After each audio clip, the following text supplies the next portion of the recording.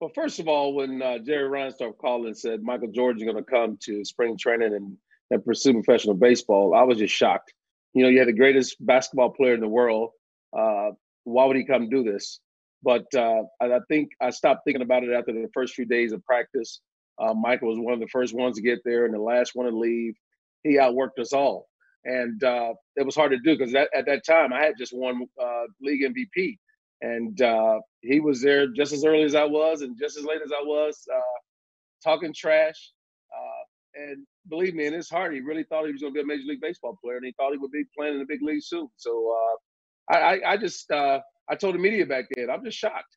I thought it was a hoax at first. I thought he was just coming to to have some fun with the boys, but no, he really wanted to play Major League Baseball, and uh, you can see him getting better and better every week. So, uh, my my I give him the hat, you know, hats off that situation because uh, I, I, can't see myself going to an NBA arena and saying, "Oh, this year I'm going to make it to the NBA." So, uh, you know, it, it was fun to watch.